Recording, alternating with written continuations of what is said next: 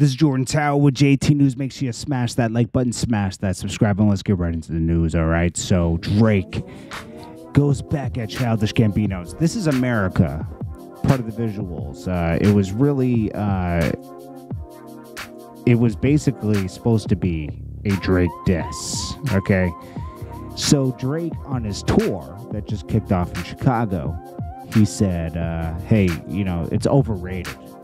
And over awarded hit song. I mean, you know, because this was originally a Drake diss, and Drake takes these disses very personally. Childish Gambino, to me, I, am sorry, uh, this rubs anybody the wrong way. I think he, I think he mostly is overrated. Okay, the Atlanta show was good for the first season, lost me on the second and third season. That's just me.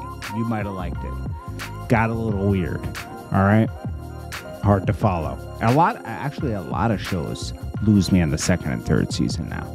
We'll see if BMF season three can hold our attention because it was getting a little rocky during season two for in the middle part.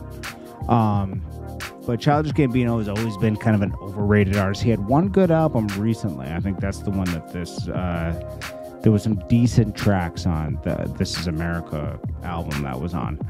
Um, but he did shade Donald Glover.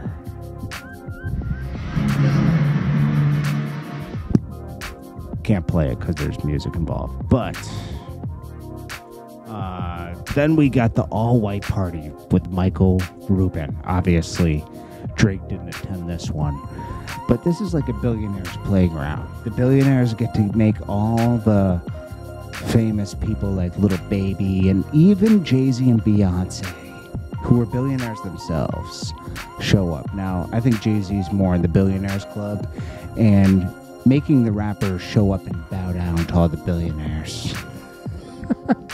As you see what's happening here, Michael Rubin approaches Lil Baby from behind and gives him a nice hug, and Lil Baby's caught off guard, like, "Ooh, whoa, what's this? Is this a billionaire on my back?" And then he gets smushed between two guys and Lil Baby's just loving it, right? Look at him. Look at that smile on his face. He's Got Michael Rubin behind him, some guy in the front. A little spooky out there in the Hamptons. You know, get spooky at these billionaire parties. That's all I could say. So, anyways, Boosie is looking at this from his mansion in Georgia with an ankle monitor on. And he's just like, damn, dog, I'm missing out on the fun. He wants a billionaire to mush him. So then he tweets a Lil Baby. Tell Rubin I want to mess with that party next year on the cruise. Looks lit. I'm gonna go turn it up. I'm sure you are, buddy. I'm sure you are. Alrighty, then we got Joe Budden. He's doubting that Cardi B and Offset are back together like that uh, after Offset called her out for cheating. Yeah, you don't just call somebody out for cheating, right? Off, especially if you're a cheater. Okay, Offset's a cheater, right? Calls out Cardi B, oh, you smashing other dudes. She went and uh, she live did damage control. This is this is to promote her album. So now they're showing some PDA. Joe Budden's not buying it.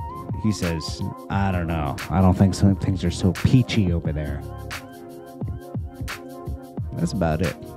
We'll get into some more stuff in a little bit. This is Jordan Tower with JT News.